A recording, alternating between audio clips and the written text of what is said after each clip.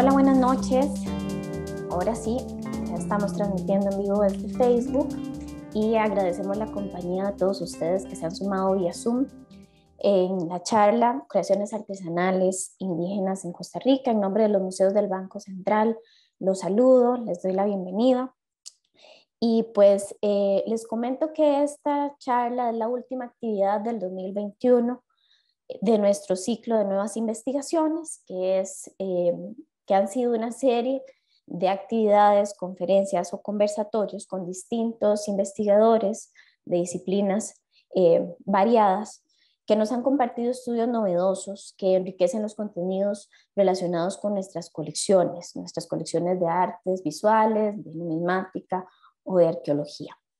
Em, es importante eh, recordarles que para las personas que nos acompañan por Zoom, que mantengan su cámara y su micrófono apagados para lograr este, una buena escucha de, nuestras expositoras y si tienen preguntas, en algún momento podrán compartirlas en, en, el chat de Zoom o quienes nos acompañan vía Facebook también lo podrán hacer en la sección de comentarios. Esta noche escucharemos los resultados de, una, de un proceso de investigación que se viene dando en el Departamento de Educación de nuestro museo hace ya un año aproximadamente. Priscila Arias y Claudia López, a quienes presentaré detenidamente en, unos minutos, eh, se han dado a la tarea de indagar sobre las creaciones de artesanías en los ocho pueblos indígenas de Costa Rica. Estos pueblos, pese a los retos y problemáticas ¿verdad? que comparten, em, nos han heredado eh, creaciones artesanales eh, que persisten ¿verdad? con el paso de los siglos. Y pues hoy haremos un recorrido por esas creaciones eh, sin dejar de lado la relación que tiene que ver ese proceso em, artesanal con el territorio que ellos habitan y sus identidades. Como es usual, esta charla va a tardar entre 45 y 50 minutos y como les digo, eh, el periodo restante para completar la hora lo invertiremos en sus consultas, en sus comentarios que pueden consignar acá en el chat de Zoom o en la sección de, comentarios de Facebook. Y pues para iniciar, les voy a presentar a las expositoras. Em, es un gusto, ¿verdad? También contar con ellas en nuestro equipo. Eh, para empezar, Claudia López, es licenciada en antropología, aquí sí voy a leer un poquito para no equivocarme, en antropología de la Universidad de Costa Rica y tiene una maestría en antropología con énfasis en patrimonio cultural y desarrollo de la Universidad de Sevilla. Su trayectoria profesional se ha enfocado en dos áreas principalmente. Por un lado, el desarrollo de metodologías de participación, ciudadana para proyectos de ordenamiento territorial y ambiental.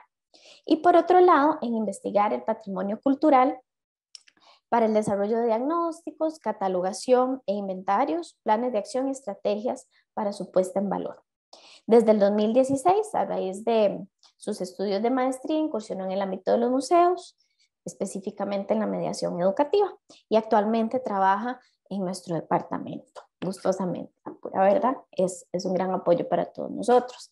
De igual forma, Priscila, eh, Arias, que eh, ella es licenciada en Antropología Social por la Universidad de Costa Rica también, con estudios de pregrado en Historia del Arte por la misma universidad y un diplomado en Antropología del Arte del Laboratorio Transdisciplinario de Investigación y Reinvención de México.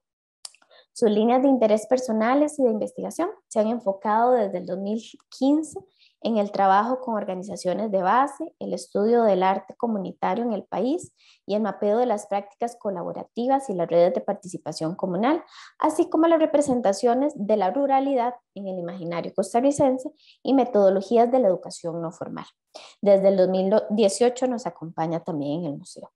Así que las dejo con ellas para escuchar estos resultados de la investigación. Adelante, compañeras. Gracias, Daya. Muchas gracias, Daya. Y vamos a proceder a compartirles nuestra presentación que preparamos para hoy. Y bueno, ustedes me confirman si se ve bien. Se ve perfecto. Todo se ve Como, como mencionaba Dayana previamente, hemos decidido llamar eh, a esta presentación Creaciones Artesanales Indígenas en Costa Rica precisamente para apelar a esa generalidad de la que vamos a hablar hoy.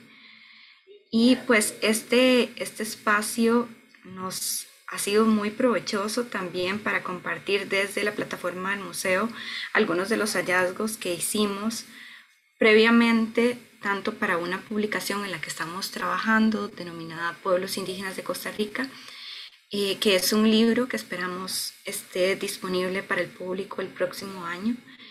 Y eh, específicamente la investigación se volvió más, más acuciosa, más centrada en el tema para un artículo que escribimos para el coloquio iberoamericano sobre estudios indígenas desde las artes y el diseño, en el cual eh, tuvimos la oportunidad de hacer este recorrido panorámico por lo que se ha investigado, lo que se ha dicho sobre la artesanía costarricense, eh, perdón, indígena en el caso de nuestro país.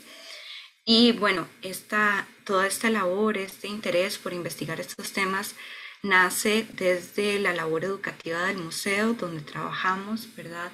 Y desde nuestro objetivo, nuestra razón de ser, de establecer diálogos con temas relacionados con la identidad, la historia, eh, ese acercamiento al otro también. Y bueno, parte también importante de, esta investigación nace de preguntas que nos hacen los públicos, las personas que nos visitan día a día, que tienen que ver eh, con pueblos indígenas, con su ubicación, con su producción artesanal, con sus territorios, con su historia. Eh, en la búsqueda de responder estas preguntas generales es que hemos producido esta investigación. Y bueno, el resultado es este panorama actual de la creación artesanal que eh, buscamos brinde las bases para futuras aproximaciones al mismo tema y para profundizar en lo sucesivo y actualizar también el conocimiento que tenemos desde el museo como profesionales y como institución. Y bueno, em, con ese ánimo nos preguntamos muchas cosas. Así es.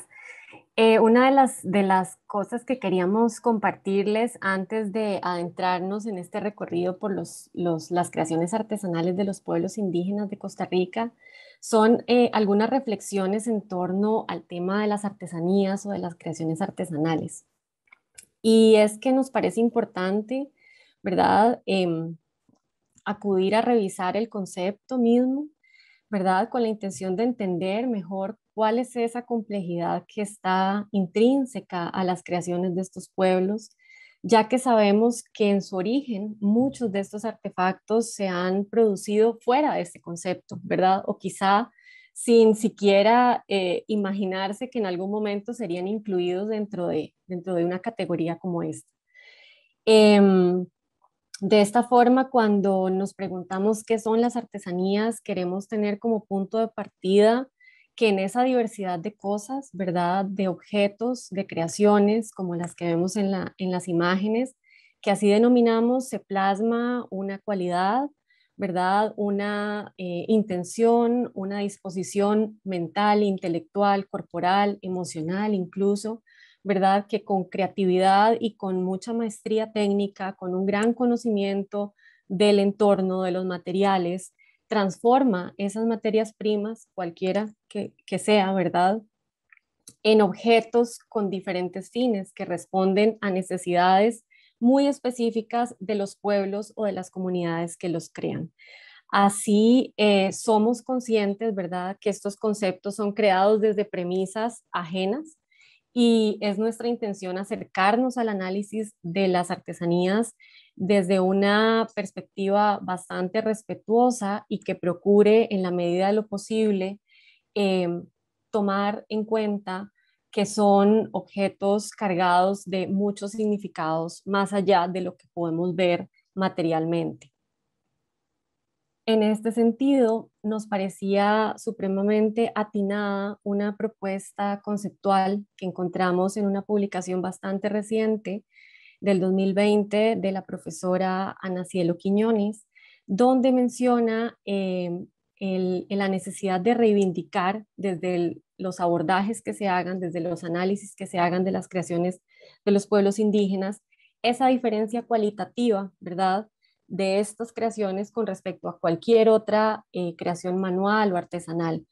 Y entonces ella eh, propone, ¿verdad?, hablar de mundos de creación, porque precisamente en estos objetos se conjugan todos esos elementos que ustedes ven ahí, naturaleza, cosmovisión, conocimientos, oralidad, materiales, territorios, vida cotidiana. Es decir, que cuando nos aproximamos a hablar entonces de las creaciones de los pueblos indígenas de Costa Rica, estaremos hablando no solamente de los objetos que vemos, sino también de todo lo que no vemos, ¿verdad? De esos mundos visibles y esos mundos también invisibles, que son de las cuestiones simbólicas y que tienen eh, un gran significado y que nos cuentan sobre lo que es importante para ellos, ¿verdad? Entonces de aquí, digamos, vamos a partir y eh, queríamos compartirles un poco eh, lo importante que ha sido para nosotras reflexionar en torno a este concepto y que es una reflexión que está abierta, ¿verdad? Y bueno, para continuar con esta reflexión, contarles también que este, esta investigación se nutrió de muchísimas fuentes, primordialmente secundarias, ¿verdad? Recurrimos a muchos artículos, investigaciones que otros profesionales y otras personas han hecho en otros momentos históricos y en momentos más recientes, pero además tuvimos la oportunidad de acudir a entrevistas con profesionales, con personas que están vinculadas al mundo de la artesanía en distintos, desde distintos lugares. Y estas entrevistas fueron eh, tremendamente enriquecedoras para, para las conclusiones a las que llegamos y para el proceso. Y además al archivo que el museo ya previamente ha ido construyendo a lo largo de los años, eh, con entrevistas con personas indígenas que también fueron fundamentales. Y bueno, en esa, en esa búsqueda nos centramos más específicamente en ver qué se había dicho, qué se había planteado desde el ámbito costarricense con respecto a las artesanías, tanto a nivel académico como a nivel institucional para la creación de política pública, de política cultural, eh, por ejemplo, desde el Ministerio de Cultura y Juventud, y encontramos que a grandes rasgos las artesanías en el ámbito nacional se han definido de dos formas primordialmente. Una de esas categorías es la de artesanía tradicional, que veremos más a profundidad. La otra es la de artesanía contemporánea, que está relacionada no exactamente con el origen geográfico de las personas que ahí se catalogan, sino más bien con cierto dominio asociado con procesos de educación formal, técnica, eh, que bueno, que da como, como resultado eh, algunas artesanías que no veremos hoy. En el caso de la artesanía tradicional, esta se ha subdividido en dos categorías. Una de estas es la asociada con los pueblos indígenas y la otra es la llamada mestiza, que está vinculada sobre todo a ámbitos rurales, em, con una herencia tradicional también que está ahí presente.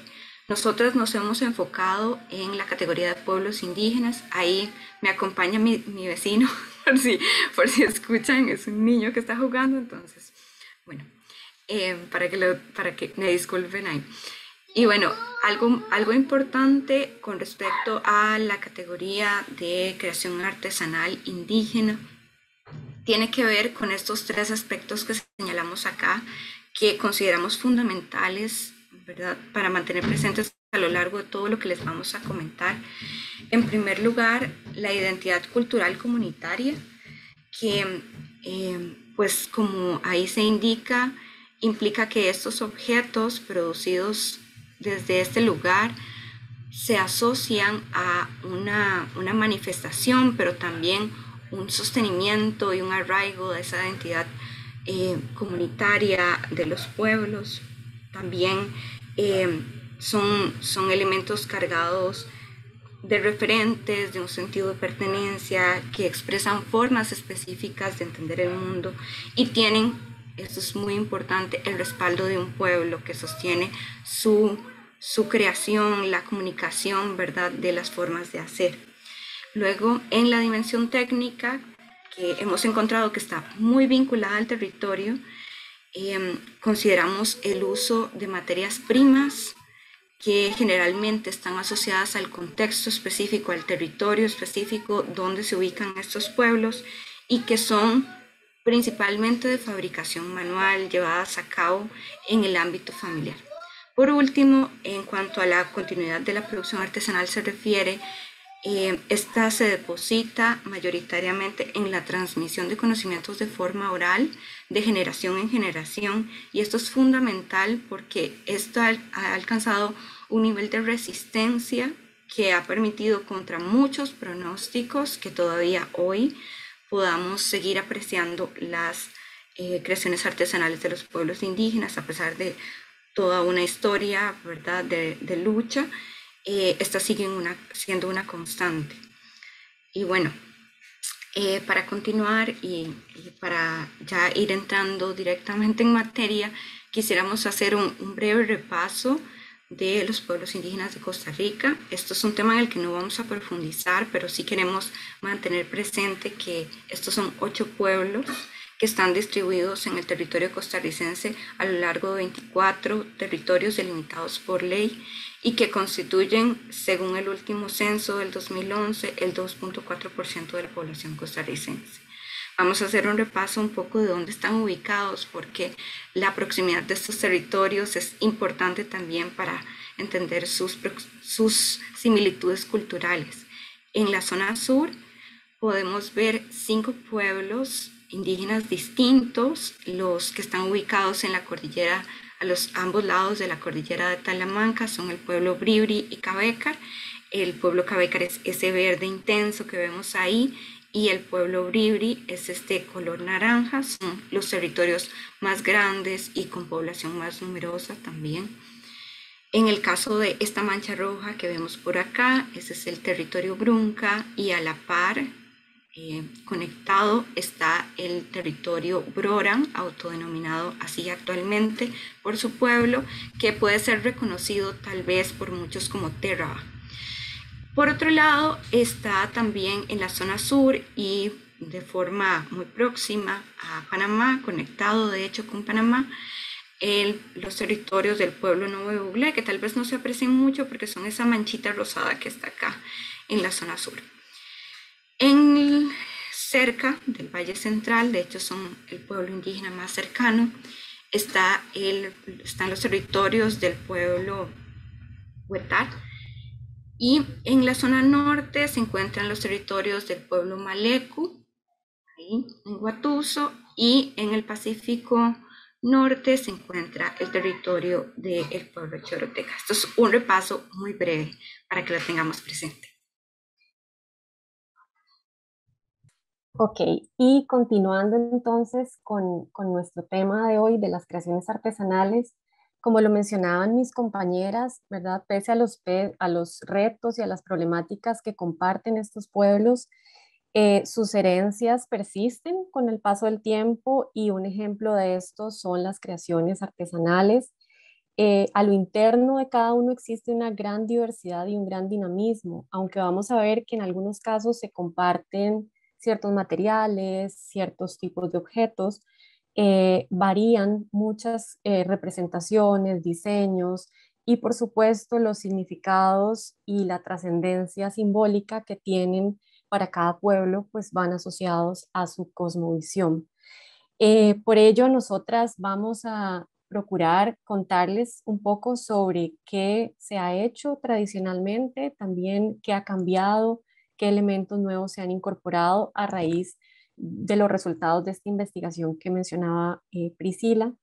Y lejos de agotarse eh, todo aquí, en realidad está, está abierto el proceso para nutrirse de, más información actualizada. Nos parece supremamente importante y necesario para, para visibilizar eh, la complejidad y la relevancia que tienen estos objetos para los pueblos indígenas en la actualidad. Entonces vamos a empezar y vamos a empezar con el pueblo Cabecar. Este es un orden que nosotras hemos establecido de manera un poco eh, recorriendo los territorios geográficos, también en el orden que les mencionábamos antes. De manera muy general, podríamos decir que la creación artesanal en el pueblo Cabecar continúa siendo un referente cultural importante. Esa, esa continuidad se ve reflejada primordialmente en el ámbito cotidiano y ritual. eh, muchos de los productos, objetos que se siguen fabricando tienen que ver con las actividades rituales llevadas a cabo por eh, los agua, los procesos de curaciones. Y eh, hemos encontrado que en comparación, por ejemplo, con otros pueblos como el pueblo Brunca, la creación de este pueblo tiene un bajo alcance comercial, se encuentra poco en el mercado artesanal costarricense. Algo importante es que no, no vamos a poder hablar y no tenemos información suficiente para hablar de todos los objetos que se fabrican todavía hasta hoy, pero sí quisiera enumerarles algunos de esos objetos para que vean la diversidad de producción. Por ejemplo, eh, el pueblo Cabecar continúa fabricando elementos tejidos con fibras naturales como las chácaras, que son bolsos, los canastos, las hamacas. En cuanto al labrado, se, siguen produciendo jícaras eh, a partir de calabazos, maracas. Eh, la talla en madera se, hace para, se utiliza para fabricar bateas, pilones, bancas para curaciones. También tiene una continuidad el trabajo en madera de pejivalle para la elaboración de arcos y flechas. Y otros de los productos más comunes, más bien en el mercado artesanal, no tanto en eh, la cotidianidad de los pueblos, tienen que ver con bisuterías, cerbatanas, muñecos de mastate, que es el caso en el que nos vamos a centrar ahorita, también por una disponibilidad de información. El mastate es extraído de la corteza de un árbol y su proceso de trabajo es muy tedioso, muy laborioso, implica horas y muchísimo conocimiento de la estacionalidad con la que se puede extraer, de las mejores fechas, los mejores momentos y la técnica propia para ensuavizar esta corteza que se transforma en un textil, en una especie de textil. Y bueno, em, ahí tenemos a Jenny Segura, que es una artesana muy reconocida del pueblo Cabeca, trabajando, elaborando los patrones para la elaboración de estos muñecos de mastate que originalmente eran elaborados como juguetes para los niños. Posteriormente eh, se enteraron, se fueron dando cuenta que esto era un objeto que podía tener mucha aceptación en el mercado artesanal y pues esa función se transformó y se ubica hoy muy a menudo en las tiendas eh, que se pueden encontrar productos artesanales indígenas. Aquí tenemos un ejemplo muy bonito de un murciélago que además refleja una observación muy atenta de las funciones en el entorno, porque también se puede colgar, como ven, a su derecha, boca abajo, siguiendo la forma que, pues, que utilizan típica de los murciélagos. Y bueno, esto nos deja pensar también, como han dicho varios autores, que mayoritariamente las representaciones que se hacen en estos objetos están asociadas al contexto. Son muchas representaciones de fauna, de flora, que son importantes eh, no solo en, el entorno inmediato, sino en la cosmovisión del pueblo. Indican también la, la preservación de técnicas tradicionales y la continuidad del uso de la materia prima, que en este caso es el mastate. Em, pero esto nos lleva a pensar también que esa, esa vinculación directa implica que hay un riesgo en la continuidad del recurso por la amenaza constante a sus territorios, al bosque, a las formas de uso tradicional del bosque y por la transmisión de la técnica que esto implica. En el caso del pueblo Bribri, como ustedes vieron en el mapa, eh, son pueblos vecinos, el Cabecar y el Bribri, y comparten muchas cosas eh, de su cultura y de su cosmovisión. Y asimismo, en lo que respecta a la creación artesanal y la importancia que tiene eh, en su, como fundamento de su identidad como pueblo, las funciones em, se, relacionan con el ámbito de lo cotidiano, pero también de los, del ámbito más ritual o ceremonial vinculado a las conmovisiones y de forma más reciente eh, cumplen una función comercial que más adelante les voy a profundizar un poquito sobre eso, pero quizás es importante contarles que la confección, que los materiales, que las formas, que los usos que tienen estas creaciones eh, tienen una gran connotación simbólica razón por la cual cada objeto está cargado de significados, como vamos a ver más adelante, y que tiene, que se corresponde con un sistema de creencias muy profundo. Em, los objetos que tradicionalmente se han elaborado son eh, los bolsos, también las, los arcos y las flechas, las jícaras labradas, las canastas y más recientemente eh, algunos objetos de ornamentales de bisutería. Vamos a ver un ejemplo con el caso de las canastas que eh, como vemos en la imagen, eh, son tejidas en cestería con fibras naturales a partir de diferentes bejucos que se encuentran en los bosques de su territorio. Y aquí nuevamente mencionamos la importancia que tiene el acceso a ese territorio y esos recursos para estos pueblos, ¿verdad? Em, se caracterizan, entre otras cosas, por las formas geométricas de su base. Como ustedes pueden ver, hay formas triangulares, hay formas redondas u ovaladas, también formas hexagonales. Tradicionalmente se han utilizado para el transporte y para el almacenamiento, pero algo que encontramos en el proceso de investigación y que nos pareció maravilloso es eh, son recopilaciones de narraciones orales en donde estos artefactos adquieren una trascendencia más simbólica, pues se mencionan, por ejemplo, como la canasta original en la que se guardaban las semillas de los clanes o porque fueron hechas por eh, algún personaje con determinado fin, ¿verdad? Entonces esto nos habla nuevamente de, ese, de esos mundos en los que se conjugan muchos elementos de, la, de las visiones y de la cotidianidad de estos pueblos. Otro ejemplo que podemos eh, mencionar de creaciones artesanales bribris que están muy vinculadas con la cosmovisión son los bolsos que vemos a mano y derecha, perdón, eh, arriba. Estos bolsos eh, tienen, nos cuenta Don Ali García Segura, que su función primordial es la de servir para guardar las piedras sagradas de los aguá es decir, de los médicos tradicionales para la práctica de su medicina. Y bueno, su elaboración requiere un proceso de aprendizaje eh, donde se da una transmisión de saberes de las personas mayores a los otros miembros de la comunidad y donde muchas veces la elaboración del hilo puede tardar varias semanas. Em, estos, digamos, son solo dos ejemplos de los objetos, digamos, de los que hemos encontrado más información del pueblo bribri y nos parece importante mencionar que eh, la matriz cultural de este pueblo se mantiene, ¿verdad? A pesar de la presión que existe por parte de poblaciones no indígenas. Sin embargo, bueno, hay comunidades en donde estas prácticas tradicionales se mantienen vivas y otras en donde su intensidad y tal vez su vigencia ha decaído o se ha transformado.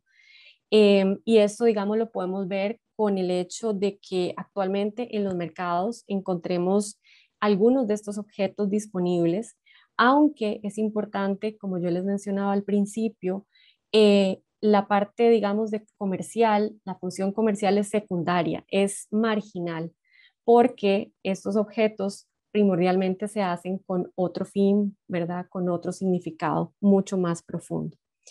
Eh, de acuerdo con don Ali García, que es del pueblo Bribri, él menciona que este cambio, esta introducción de, las creaciones Bribris en los mercados artesanales eh, se dio más o menos a partir de los años 90, eh, con la llegada de instituciones y de organizaciones para promover el turismo cultural y la venta de artesanías en este pueblo.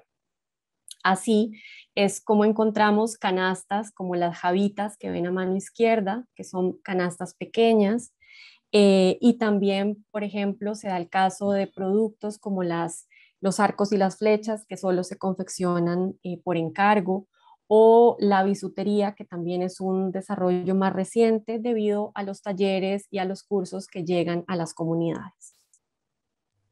En cuanto al pueblo Brunca, un aspecto muy interesante de la creación de este pueblo, la creación artesanal de este pueblo, es que el devenir, lo que conocemos hoy de su producción artesanal, está vinculado a un proceso intenso de revitalización cultural fomentado por diversas instituciones desde los años 70. a pesar de esta que se podría pensar incorporación externa o este impulso externo, es interesante ver cómo eh, a nivel propio de las comunidades han logrado muy exitosamente asignarle hasta hoy a estos objetos la función de resguardo de la memoria, tanto en el ámbito cotidiano como en sus aspectos rituales, en sus festividades. Asimismo, estos objetos producidos tienen una función primordial en la economía local. Es em, no solo una forma que han encontrado las familias o muchas de las familias indígenas de resolver eh, aspectos económicos de su día a día, sino también han logrado visibilizar a través de esta economía local sus prácticas, sus costumbres, sus celebraciones, su forma de ver el mundo, lo cual es un logro gigantesco para este pueblo y se puede ver eh, actualmente que la producción artesanal brunca tiene una de las principales acogidas en, los mercados artesanales locales y eh, pues esto ha alcanzado muchísimo reconocimiento que ha tenido buenas y no tan buenas consecuencias. Eh, Vamos a ver aquí dos casos específicos, el caso de las máscaras. Em, las máscaras son utilizadas o fabricadas eh, en sus orígenes para el juego de los diablitos. Son eh, máscaras que eran elaboradas para que los indígenas representaran eh, un papel que se contraponía al papel del colonizador. Y bueno, dicho sea de paso, el sentido, el significado asociado al diablito no es el significado occidental que tenemos del diablo, es un significado distinto. A lo largo de la historia, estas máscaras han sufrido muchísimos procesos de cambios e incorporaciones de elementos continuas. En sus orígenes, según se han registrado varios investigadores, estas máscaras no estaban, no eran policromadas, no estaban pintadas, eh, esto es una incorporación que viene a raíz de, esta, de este impulso de los años 70 que les comentaba. Y esto eh, pues ha tenido diversos impactos. Uno de esos impactos tiene que ver con el mercado artesanal. Una demanda creciente de estas máscaras ha llevado a una producción muy, muy amplia. Eh, además, pues estos cambios implican también una, caracterización de las máscaras que podemos ver son o incorporan muchísimos elementos geométricos, una armonización increíble de los colores. Además, eh, más recientemente se han empezado a incorporar otros motivos como animales, eh, plantas, distintos elementos que se van sumando a este rostro del diablito. Algo importante es que esta gran acogida en el mercado artesanal lleva a un reconocimiento y a unas apropiaciones que pues no siempre se hacen de la forma más ética y ante las que las comunidades bruncas se han organizado y han empezado a definir y a solicitar que se les, que se les pida un permiso para utilizar la imagen de las máscaras o los nombres asociados también. Eh, por lo que podemos ver un protagonismo comunitario muy fuerte y muy valioso también, que sienta precedentes para otros casos de las artesanías indígenas. El otro caso que vamos a ver acá es el del uso de los tintes naturales la y la fabricación de textiles, así como el uso de telar de cintura que, eh, bueno, el pueblo nunca es el único que conserva el uso del telar de cintura y que se usa para trenzar e hilar estos textiles. Muchas veces el algodón ha sido cultivado propiamente en el pueblo y los textiles son de uso natural, ancestral, con conocimientos como en el caso del caracol de Murice que se han trazado, que se han encontrado eh, a lo largo de las crónicas coloniales, por ejemplo, y que nos dejan saber que hay siglos ahí de tradición. Eh, estos aspectos los ha investigado, por ejemplo, Giselle Chang, entre otras personas. Em, y bueno, algo importante acá es que estos textiles siguen teniendo un uso eh, cotidiano todavía, pero sobre todo un uso para el mercado, lo que por supuesto no le resta mérito ni valor alguno. Algo importante es que además de las máscaras y los textiles, eh, parte muy reconocida de las artesanías broncas tiene que ver con el labrado de jícaras y con la confección de tambores. Continuando nuestro recorrido, nos vamos para eh, los territorios del pueblo Broran.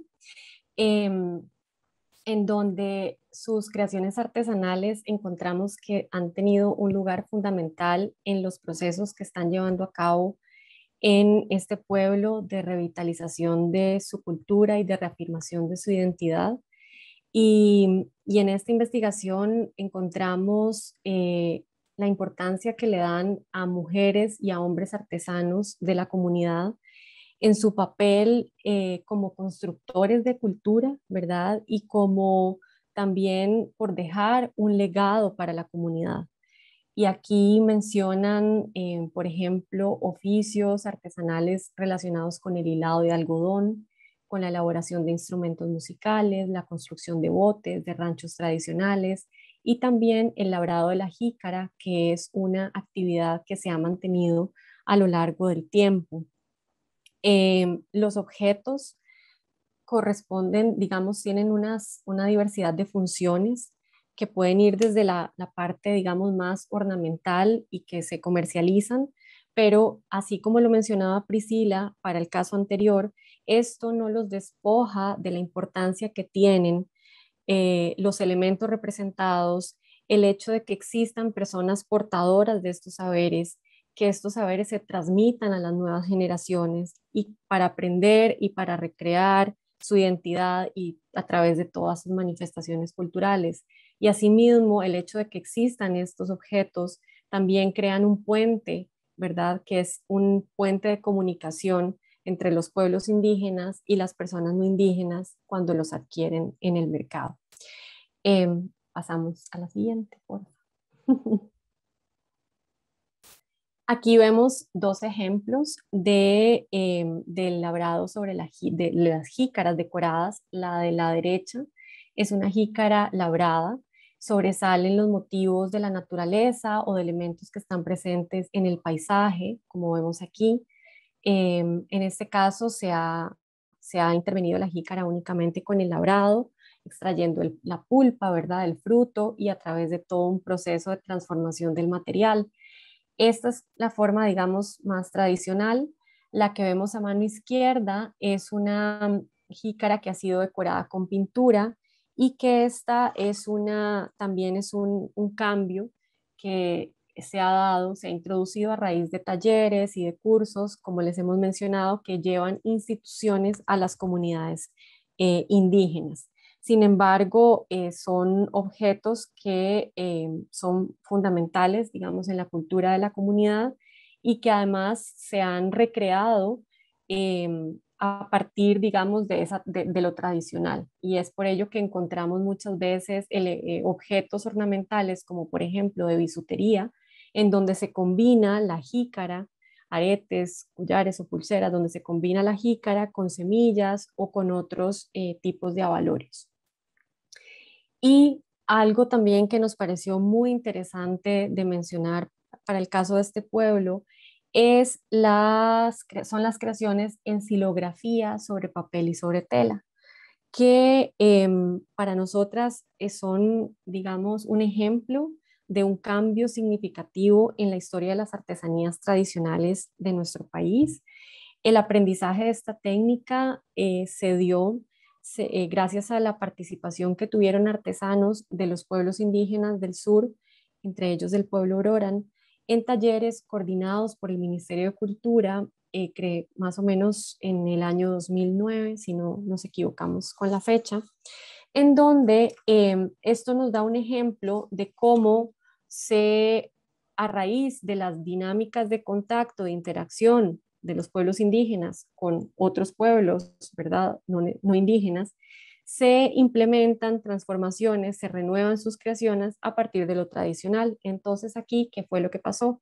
Que el conocimiento del labrado sobre jícara se traslada a un soporte distinto para generar estas impresiones sobre papel y sobre tela, con lo cual se elaboran actualmente una gran diversidad de objetos y de piezas que revelan, como ustedes pueden ver, eh, una gran creatividad, una gran precisión en los trazos, en el manejo del color y la presencia de estos elementos del paisaje y que son eh, parte de su cosmovisión.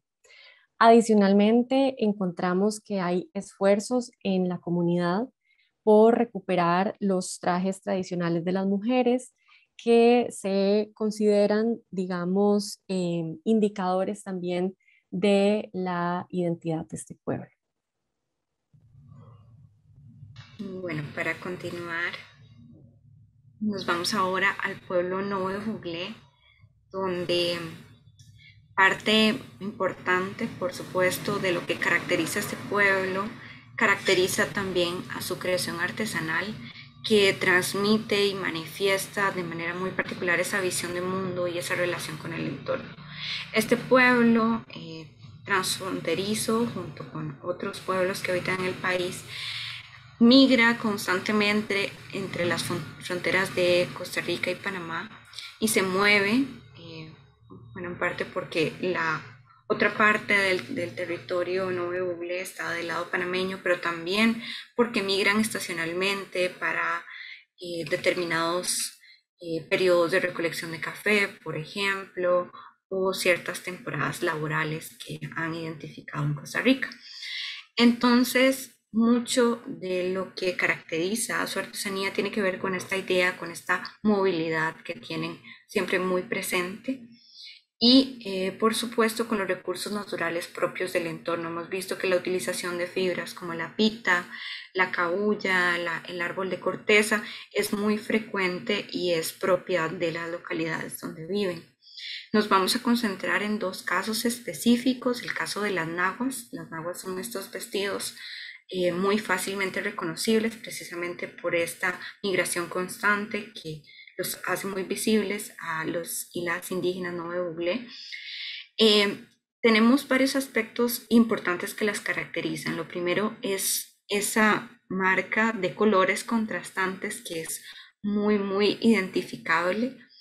Eh, y luego el uso de patrones geométricos que recurre a rombos y a triángulos y que divide la vestimenta en secciones horizontales con algunas variaciones con mangas, sin mangas. Esta, esta nagua es un elemento fundamental de la cultura y es el conocimiento para crearlas transmitido entre madres e hijas o abuelas y nietas y habla también de la vitalidad cultural que se ha llevado inclusive hasta niveles jurídicos donde ellos han pedido que a las niñas se les permita asistir a la escuela y al kinder con un uniforme adaptado a su traje tradicional. Por otro lado, tenemos las chakras, que son bolsos em, utilizados para distintos fines y con distintas formas. Por ejemplo, algunas, algunas chakras más grandes, utilizadas para el almacenamiento o transporte de alimentos. Hay algunas más pequeñas utilizadas para los amuletos que actualmente se comercializan para portar celulares, por ejemplo. Eh, algunas chacras pequeñas, medianas, eh, también algunas con pita suave creadas para transportar niños, bebés pequeños y que eh, han sido representadas y muy ampliamente utilizadas en la cosmovisión nuevo Google por esta idea del movimiento que les comentábamos. Como ven en las imágenes, los patrones geométricos son la constante, se han identificado diferentes tipologías, pero se sabe que todas estas narran escenas asociadas con los elementos naturales y con la cosmovisión. Entonces, muchas están representando de forma abstracta animales, plantas, y esto es algo muy interesante que las caracteriza hasta hoy. Debido a la escasez de fibras, se ha optado en algunos casos por incorporar fibras sintéticas, pero estas no han tenido mayor acogida, por lo que se sigue utilizando aún la fibra natural como la pita y la cabulla que les mencionaba. Ok, en el caso del pueblo Malecu, hemos visto que eh, sus creaciones artesanales cumplen diferentes funciones. Por un lado, vinculadas al ámbito cotidiano y también ritual o ceremonial, lo que les da un valor eh, identitario eh, porque están asociadas con saberes y con prácticas ancestrales que han sido heredadas de una generación a otra a través del tiempo.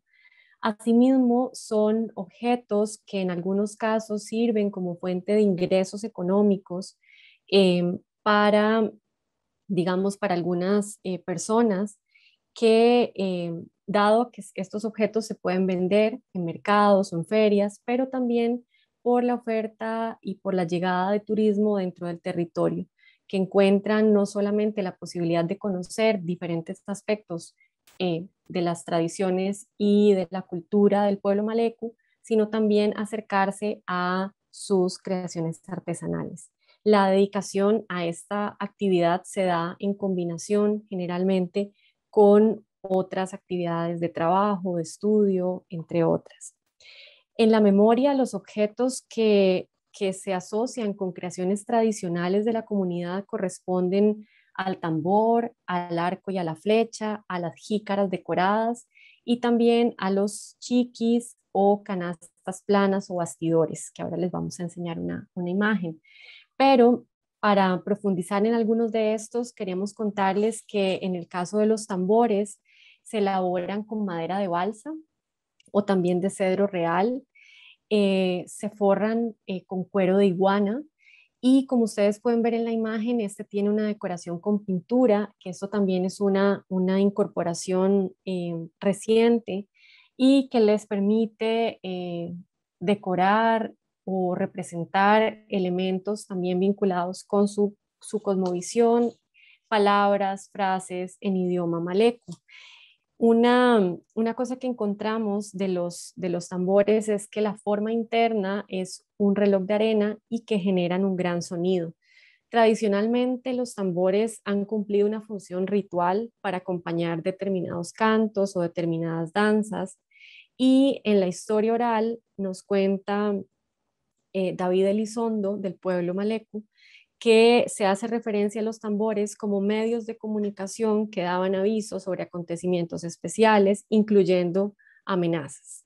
Aquí tenemos una cita en donde David nos, nos habla del tambor como un sinónimo de felicidad que se escuchaba en el pueblo. Em, otros objetos que son muy característicos del pueblo maleco son las jícaras. Como ustedes han visto, este, este es uno de los creaciones que son comunes en todos los pueblos. Históricamente, em, el, el, geógrafo Roberto Castillo menciona que las jícaras se aprovechaban como platos, como vasos, como recipientes, como contenedores para transportar y para almacenar líquidos y alimentos. Hoy las encontramos también en formas de, de estos contenedores, pero también como objetos más ornamentales, como llaveros o monederos, em, también incorporados a elementos de bisutería, entre otros.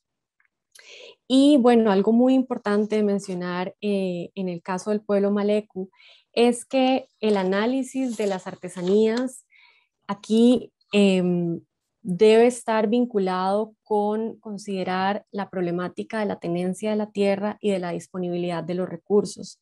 Ya para principios del siglo XXI, la profesora Giselle Chang mencionaba que, esta problemática de acceso a los recursos naturales ha repercutido en que haya una gran dificultad para conseguir la madera, por ejemplo, para los tambores o para los arcos y las flechas, o incluso las fibras naturales de palma y de bejucos que se utilizan para tejer estos bastidores que ustedes ven en la fotografía a mano derecha, que se llaman chiquis, o eh, bastidores empleados tradicionalmente para secar la carne sobre el fuego o para cubrir las ollas.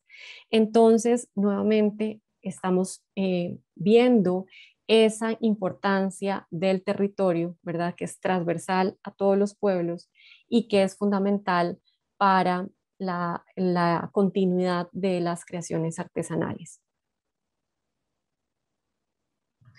Para ir cerrando con este recorrido por los pueblos indígenas costarricenses. Eh, vamos, nos quedan dos pueblos más que vamos a contarles. Em, en el caso del pueblo Chorotega, eh, que fue además moldeado por el impacto de la colonización, fue el primer pueblo en recibir este impacto de la colonización. Em, es importante ver que la creación artesanal es hoy, actualmente, uno de los principales elementos de cohesión identitaria entre las personas que se autodenominan indígenas chorotegas. Em, esto se debe a varias razones. En primer lugar, esto constituye un referente histórico que los vincula con los restos materiales del pasado precolombino. La creación de cerámica eh, ha sido una constante a lo largo de los siglos y esto pues por supuesto establece también un vínculo con el territorio, con el lugar que habitan y con el uso de los materiales que este territorio les brinda. Además, eh, es muy visible a lo largo del lugar que hoy conocemos como Guanacaste, esta influencia regional que ha tenido la herencia chorotega.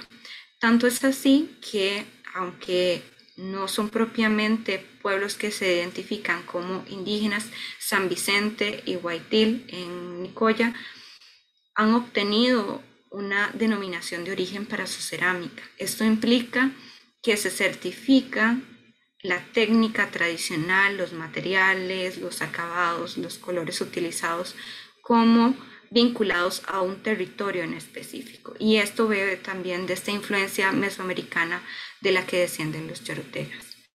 Y bueno, vamos a enfocarnos un poco en hablar de estas características de la cerámica y, em, del proceso de elaboración que utiliza, por supuesto, barros locales y eh, en, cuanto a su decoración, se utilizan elementos, técnicas que han rescatado de la memoria pues que se ha logrado obtener a través de los objetos de los pueblos que habitaban este territorio hace siglos. También mucho gracias a la investigación arqueológica eh, gran parte de la producción cerámica se centra en la producción de cerámica de réplica precolombina y alguna con motivos más actuales sigue inspirándose todavía en, esta, en este uso de los motivos geométricos, eh, esas referencias también orgánicas a elementos propios de su territorio. Algo muy importante para decir acá es que esta cerámica tiene una, una gran eh, aceptación en los mercados artesanales y eso ha llevado también a que la denominación de origen venga a ayudar para certificar porque pues eso implica que hay mucha réplica, que muchas, muchas personas pretenden imitar el estilo de la cerámica y a nivel de ingreso para estas comunidades esto es fundamental. Ok, y em, en el caso del pueblo huetar, eh, que como ustedes vieron en el mapa al inicio es el pueblo más cercano al gran área metropolitana, se localiza en los cantones de Mora y Puriscal y su creación artesanal se caracteriza principalmente por la eh, elaboración de cestería. Eh, es una actividad que no solamente tiene una trascendencia a nivel comunitario del pueblo, sino también de tradición familiar puesto que es una actividad en la que participan diferentes miembros del núcleo en los diferentes procesos, ¿verdad? Que son personas portadoras de los saberes que implican eh, esta, esta creación, como por ejemplo el complejo proceso de extraer las materias primas, de saber cuál es el tratamiento adecuado para obtener la calidad requerida para la, la elaboración de objetos como los que vamos a ver a continuación. Principalmente se elaboran eh, objetos de uso doméstico o, decorativo, como sombreros, como alfombras, como también canastos de diferente tipo. Y algo muy importante de mencionar es que hemos encontrado que existe, digamos, un gran desafío en la actualidad para la obtención de las fibras a raíz de la presión que existe sobre los territorios y sobre los recursos naturales, que como ustedes han visto es una, algo que es común a muchos pueblos indígenas, esto ha contribuido en que disminuya la disponibilidad de esas materias primas tradicionales, que son eh, diferentes fibras naturales, y que, por ejemplo, en ocasiones deban comprarlas en otros lugares. Asimismo, hemos registrado cambios en el uso de los tintes naturales. Eh, Actualmente se utilizan también tintes artificiales o anilinas, ¿verdad? Sin embargo, es una actividad que tiene una gran importancia también, eh, no solamente en el plano identitario, sino también en el plano económico. Si ustedes eh, van por la carretera que comunica a Puriscal, ¿verdad? Em, van a encontrarse diferentes puestos con la venta de este tipo de productos. Y, esto es muy, muy interesante. Eh, una cosa que pudimos registrar este año y fue en el certamen Nuestras Artesanías que organizó el Ministerio de Cultura y es la, eh, el uso, en este caso, de esos tintes naturales como el azulillo, el achotillo, la yuquilla, lo que nos lleva a pensar en la permanencia de este conocimiento, pero a la vez en la importancia de ese tipo de espacios para su activación, ¿verdad? Que no necesariamente en los mercados estos saberes, estos eh, hacer manual, este saber procesar estos, estas materias primas se, se valora. Y bueno, para continuar, vamos a ir cerrando y a compartirles algunas de las conclusiones preliminares a las que hemos llegado. Esto es muy importante, este es nuestro acercamiento preliminar. Estas conclusiones requieren pues futuras profundizaciones, corroborar, actualizar datos, entonces para que lo tengan en cuenta. Hemos encontrado que la artesanía continúa siendo hoy un elemento fundamental para la identidad de los pueblos indígenas e inclusive cuando algunos objetos pierden ese anclaje identitario se dejan de fabricar más allá de lo que el mercado eh, demande, ¿verdad? Eso es muy importante. Y bueno, en el caso, por ejemplo, del pueblo Bribri, fue para nosotras muy evidente de cómo de, en estos objetos se establece un diálogo muy profundo entre lo cotidiano, entre lo simbólico y a veces, ¿verdad?, de forma más tangencial o marginal, lo comercial. Em, asimismo, vemos cómo las amenazas al territorio eh, generan una serie de desafíos para la continuidad de muchas de esas creaciones artesanales y que resolver esas problemáticas de acceso a la tierra y de, acceso a sus recursos es fundamental, no solo para la continuidad de estas creaciones, sino también para muchas otras manifestaciones de la cultura, de las culturas de estos pueblos. Bueno, les agradecemos por favor si mantienen, ya casi terminamos los micrófonos eh, apagados. También hemos encontrado que las amenazas al territorio, al uso de suelo, a la disponibilidad de recursos y la invasión de tierras es una amenaza que se ve reflejada directamente en la creación de artesanías y que la continuidad de estas creaciones depende eh, en todos los casos de resolver las problemáticas territoriales. Así, el territorio, tan vinculado estrechamente en los pueblos indígenas con la identidad, ve en riesgo su propia cultura cuando se amenaza su territorio. Por otro lado, como ustedes pudieron escuchar a lo largo de la, de la charla, las iniciativas institucionales han estado presentes en, en muchas comunidades y no siempre han considerado esas dinámicas de creación propias de los pueblos. Por ello es fundamental ¿verdad? tener esto presente y también eh, ver cómo estas, estas intervenciones han generado cambios. Al final son los pueblos y son sus creadores quienes deciden, ¿verdad?, qué incorporan, qué mantienen, qué cambian, pero sí es importante tener en cuenta que estas iniciativas eh, deben pasar por ese, esa aceptación, ¿verdad? Y ese filtro de las propias comunidades. Y eh, bueno, para terminar con las realidades compartidas, queremos compartirles que la presión que genera el mercado y que hemos identificado en los productos en muchos casos ha transformado los usos y en ocasiones inclusive el significado de eh, la creación artesanal. Pero de nuevo, como decía Claudia previamente, sigue siendo un desafío de los pueblos definir hasta dónde y qué alcance tiene la presión que el mercado genera.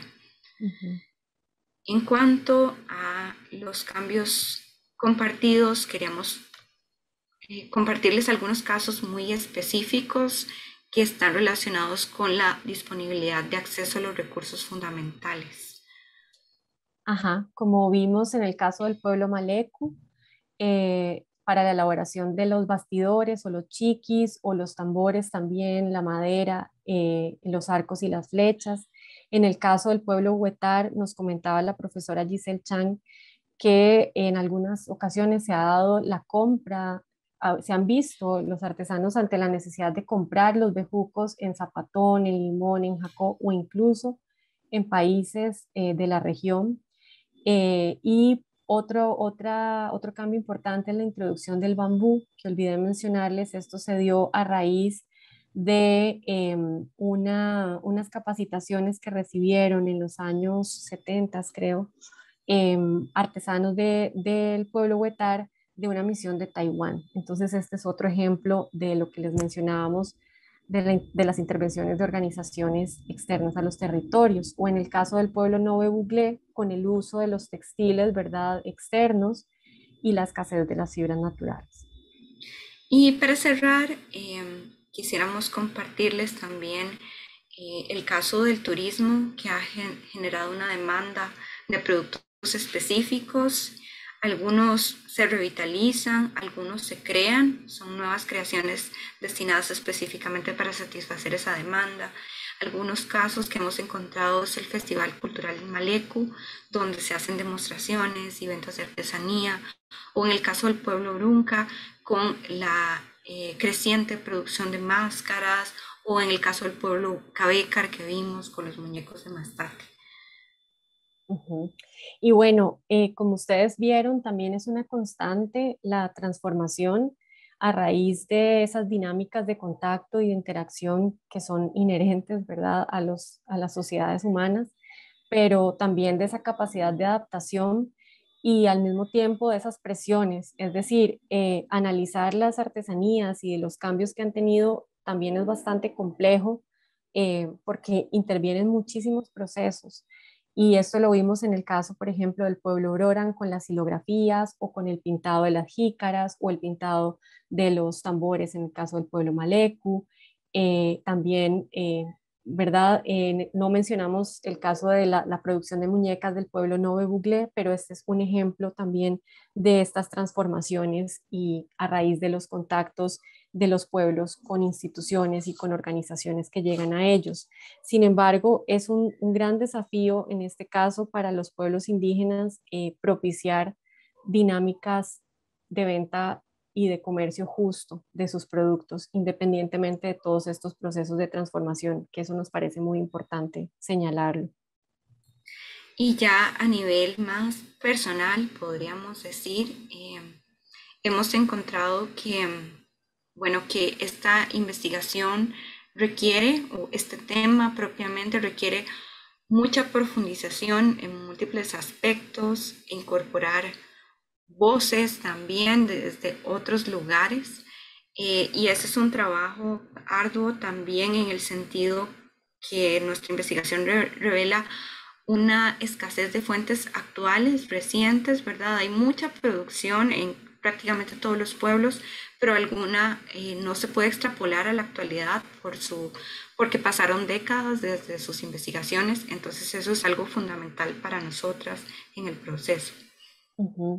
Asimismo, hemos procurado hacer un esfuerzo por conectar, ¿verdad?, esas distintas perspectivas y visibilizarlas, especialmente en lo que tiene que ver con la forma en cómo los pueblos indígenas em, ven sus creaciones, la importancia que le dan y por ello hemos, querido acercarnos de una forma bastante respetuosa y tratando de revelar eh, lo que hay más allá de, de los objetos materiales que vemos, perdón, en las imágenes o lo que podemos encontrar en los mercados. Em, creemos que el uso del concepto de artesanía es, un desafío y que, como les mencionábamos al inicio, todavía está eh, abierta la discusión, la reflexión, porque nos parece importante también conocer la perspectiva y la forma en cómo los pueblos indígenas denominan y reconocen sus propias creaciones. Muchas gracias. Muchas gracias. Entramos entonces, compañeras, muchas gracias por la presentación a un periodo de preguntas. Tenemos algunas en el chat. Voy a, poner esto tipo galería para vernos un poquito. Em, y, y, las voy a ir planteando. Por ahí Oliver nos levanta la mano, entonces ahorita le damos la palabra también para conversar un poquito. Em, de entrada, eh, primero compartirles comentarios de agradecimiento por el trabajo de investigación de Larisa Soto, de Priscila Molina, ¿verdad? Eh, conocidas e, en nuestro museo, colegas también de ustedes, em, de don Keylor Sancho, que nos ha acompañado desde el inicio de la charla, de Judy, eh, que también nos acompaña aquí por Zoom, y pues por Víctor Hugo Jiménez. De las preguntas que nos han compartido acá, Carl Villalobos, eh, Maricruz Pereira, vamos a ir retomando algunas de ellas.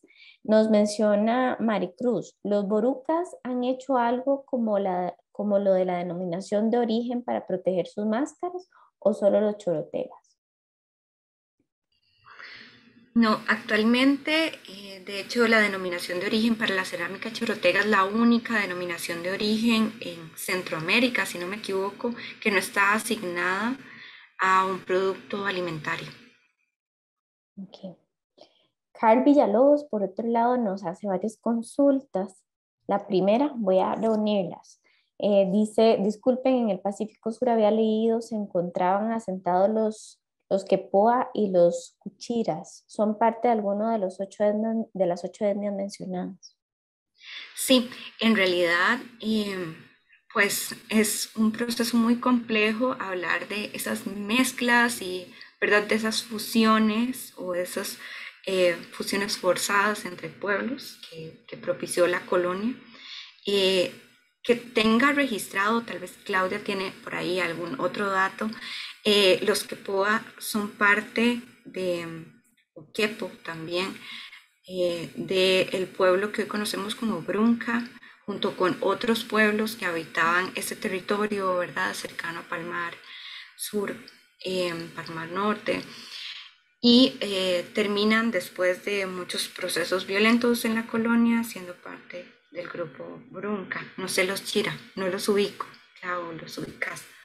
No, no, no los ubico, pero quería recomendarle a, a la persona que nos hizo la consulta, hay un artículo acá, ok, de doña Eugenia Ibarra, que se llama, se titula Los Nicaraos, los indios votos y los huetares, en donde em, va a encontrar un mapa con los territorios aproximados de las lenguas indígenas de Costa Rica en el siglo XVI.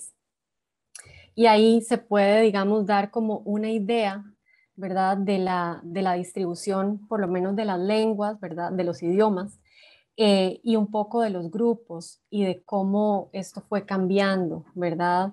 Hay un registro, ese es un registro que hace don Adolfo Constella y doña Eugenio Barra, muy interesante, con 8, 11 eh, lenguas identificadas, em, que tal vez, digamos, nos, nos permiten como entender un poco la distribución tal vez actual en los pueblos indígenas, pero es difícil tratar de extrapolar ese pasado, ¿verdad?, hasta la actualidad, precisamente por esos procesos de reestructuración y de cambio a los que se vieron sometidos. Carl también nos pregunta que, bueno, que cuando ha visitado el Museo del Jade ha notado que, que, hay mucha creación en piedra y de Jade, ¿verdad? Que si hay algún grupo asociado a estos eh, que destacó en esta artesanía. Um, bueno, es es difícil, de nuevo volvemos a, la misma reflexión previa, ¿verdad? Eh, establecer estas relaciones entre el pasado y el presente se vuelve muy complejo y pues hay necesidad de muchos estudios, hay muchos vacíos en el conocimiento, ¿verdad? Muchos temas que están pendientes por ser investigados y es difícil asociar eh, la, el trabajo con una técnica o tipo de objeto en específico con un pueblo de la actualidad. Por ahí hay algunos vínculos trazados, pero que yo sepa no con el JADE. Bueno, también les comparto algunas preguntas em, que obviamente esto suscita interés sobre características más generales de los pueblos indígenas. Entonces, don Keilo nos pregunta acerca de si tenemos una noción de la extensión territorial que abarca el pueblo Brorán. Y nos pregunta em. también, perdón, sobre si hay algunas estimaciones sobre la cantidad de indígenas al momento de la llegada de los españoles. Ok, sobre, perdón, no sé qué le pasó a mi garganta. Este, em, la extensión del territorio Broran, no tengo el dato aquí, pero em, está ubicado en el cantón de Buenos Aires, que era una, una pregunta que don, que don Keylor hacía, pero no tengo el dato exacto de, del territorio. Y esto es importante tal vez mencionar que de verdad los territorios indígenas fueron delimitados por ley, em, pero que también los, los, las áreas de esos territorios están cambiando porque los pueblos indígenas están en un proceso de recuperación, ¿verdad?, de sus tierras.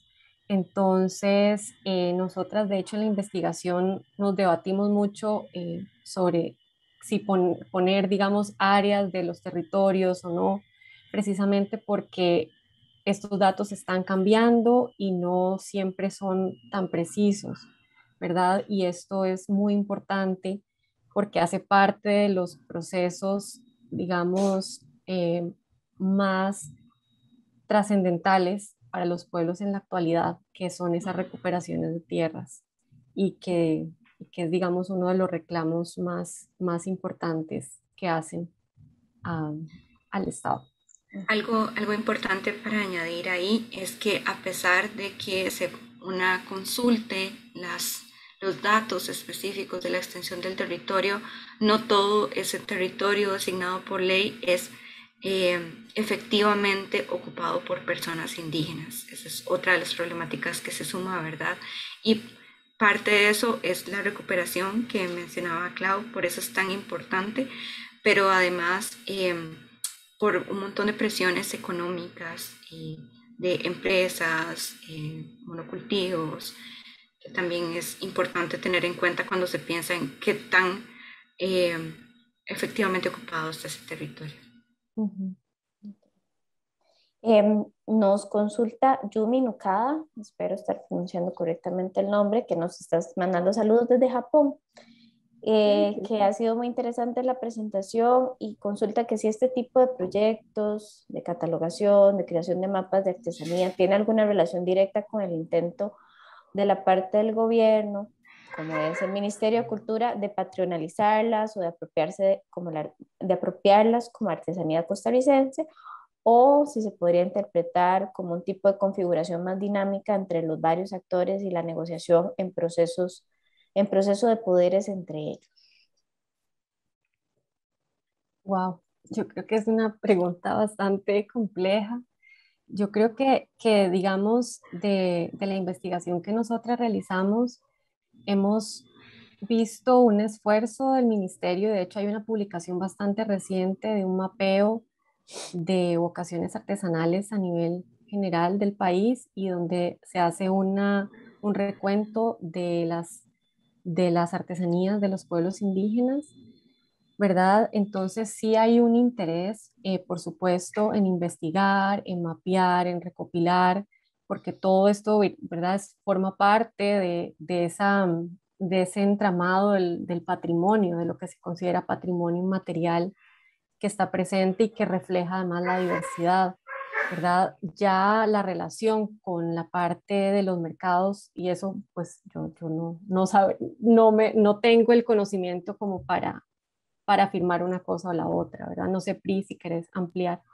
Mm, tal vez eh, enfatizar en que eh, esta investigación propiamente, la que les hemos presentado hoy, está inserta eh, en un objetivo de los museos de actualizar el conocimiento disponible eh, tanto a nivel interno de la institución como poner disponible para el público un conocimiento actualizado sobre lo que se está produciendo y este panorama actual de las artesanías que les hemos presentado parcialmente.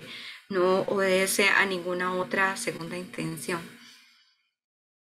Em, también para ir cerrando, ¿verdad? Con, con los últimos, ya son como comentarios, espero, estoy tratando de abarcar sobre todo las preguntas que nos están haciendo por Zoom, las que nos quedan por Facebook las podemos contestar también por ahí, entonces le estoy dando prioridad a estas y a los comentarios. Eh, nos saluda eh, también Herminia Layan, espero también estar diciéndolo correctamente. Eh, ella dice, excelente tema, qué importante que somos las poblaciones indígenas de Costa Rica. Soy Bribri de Talamán. Muchas gracias.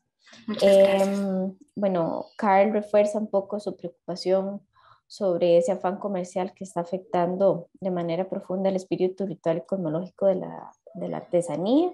Creo que se abandona su sentido mágico religioso para cumplir fines externos comerciales, nos comenta. Y antes de cerrar, creo que, que sin irme, no sé si hacemos, le regalamos unos minutitos a Oliver, que tenía su mano levantada. Eh, si quiere activar la cámara también para conocerlo. Buenas noches. Buenas noches. Sí, se le escucha, Oliver. Pero la cámara, por alguna razón, en esta computadora no me funciona, pero le hablo desde San Carlos y la asesoría de estudios sociales este, en la Dirección Regional de Educación. Este, el tema interesantísimo, ¿verdad? Un agradecimiento de verdad por dedicarle tiempo a este tipo de temáticas que no están dentro de lo que las corrientes del mercado nos, nos mueven hoy en día, ¿verdad? Eh, precisamente el comentario, está, creo que está relacionado con lo que hace un ratito mencionaron, eh, mencionó Carl, si no estoy equivocado, y es que este, nosotros tuvimos aquí a don David Elizondo precisamente, tuvimos también este, compañeras del, de los Terra Morán y de otros grupos, y este, me preocupa o no sé cómo interpretarlo porque de las tantas veces que hemos trabajado esas temáticas en la universidad y, con los chicos de, del Ministerio de Educación, este, siempre hay una, una una visión de qué tenemos que hacer nosotros ante la situación que viven los pueblos originarios. Y finalmente yo he llegado a la conclusión que lo que tenemos que hacer definitivamente es escucharlos a ellos para que se construyan las respuestas a los desafíos que tienen desde la visión de ellos y no desde la nuestra, ¿verdad? Porque a veces tenemos muy buenas intenciones, pero esas intenciones no están acompañadas este, de las acciones más adecuadas.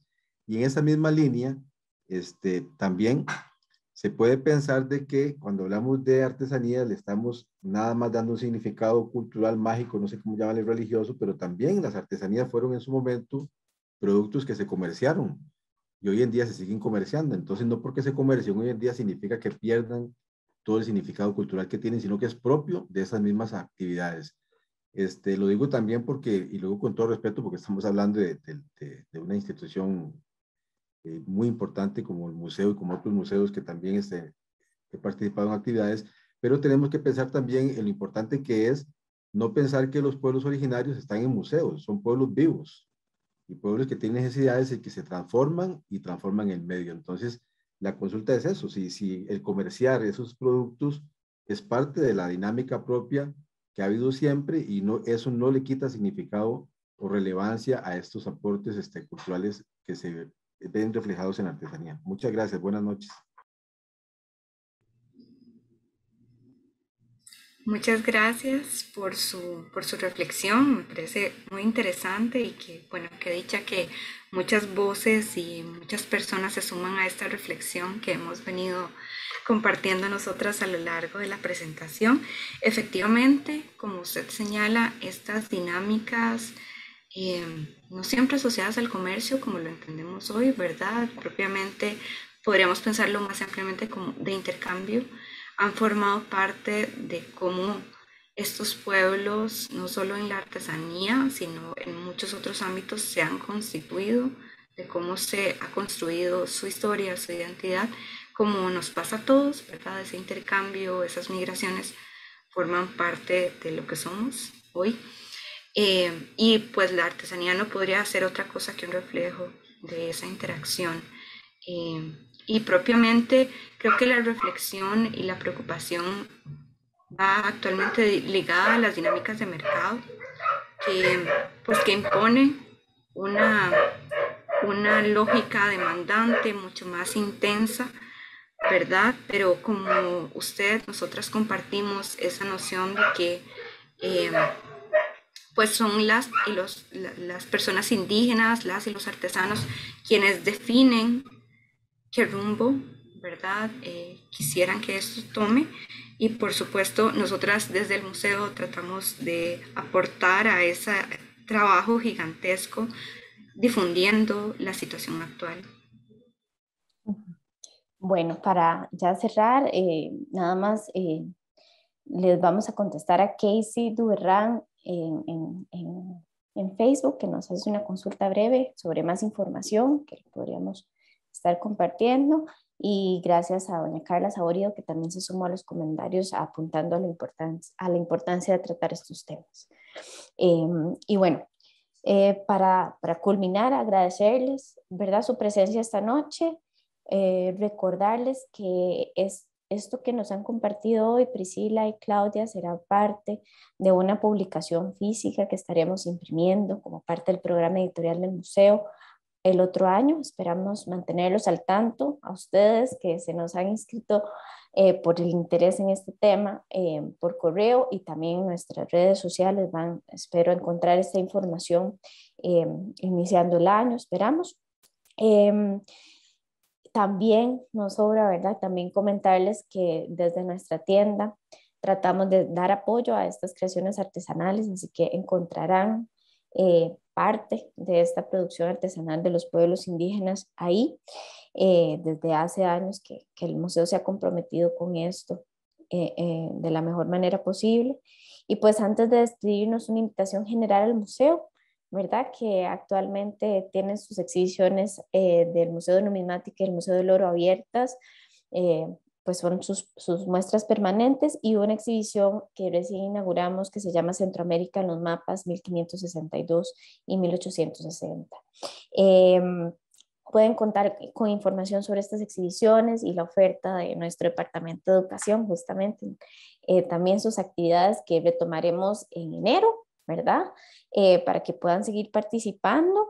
en Facebook, en Instagram y en YouTube nos encuentran bajo el nombre museos BCCR y pues obviamente pueden visitar también nuestro sitio web museosdelbancocentral.org. Les deseamos una feliz noche y realmente eh, esperamos su compañía en nuestras próximas actividades. Gracias a Priscila y a Claudia por, por, por compartirnos este proceso y estos resultados. Muchas gracias, Daya, y muchas gracias quienes nos acompañaron. Qué gusto. Buenas noches a todos. Buenas noches.